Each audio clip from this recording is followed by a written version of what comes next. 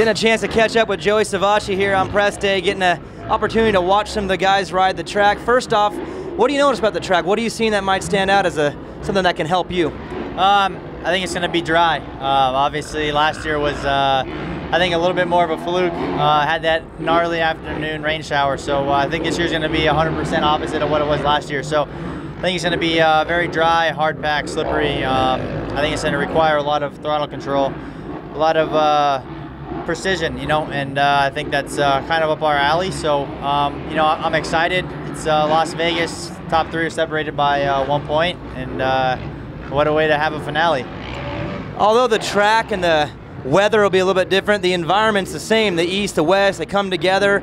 Um, you seem to shine in that environment. You did a week or a year ago.